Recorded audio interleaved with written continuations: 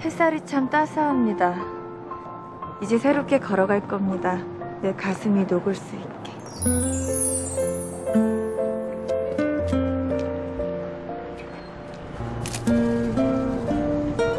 다시 시작해보는 건 어때요?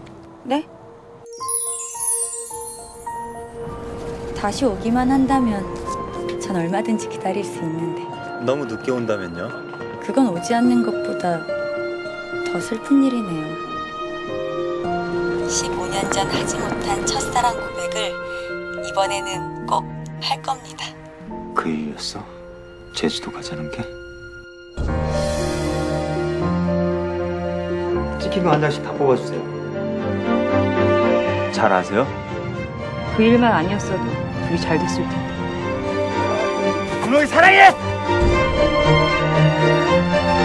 당신이란 사람 알다가도 모르겠다 어딜 가면 만날 수 있을까요?